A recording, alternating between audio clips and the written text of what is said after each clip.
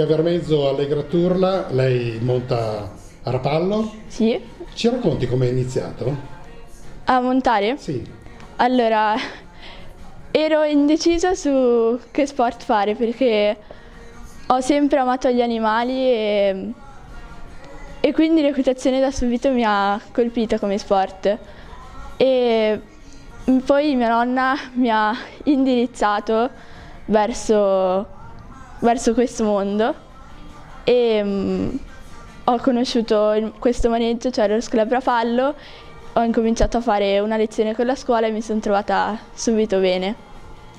Che ti ha, e ti ha portato in questi ultimi anni a vincere parecchio. sì, abbastanza. Dimmi che è la gara più importante a cui hai partecipato. La gara più importante a cui ho partecipato è stata Fiera Cavalli Verona per due anni consecutivi. E, e com'è andata? Il primo anno mi sono trovata, non, non è andata molto bene, il secondo invece meglio, ho avuto un po' di sfortuna nella seconda manche, però bene. Monti con Hector Alvaro? Sì. Eh, lui è un bravissimo istruttore, vero? Il migliore. Anche perché qui vicino non puoi dire altro. Bravissimo. Eh, cosa, cosa ti fa fare?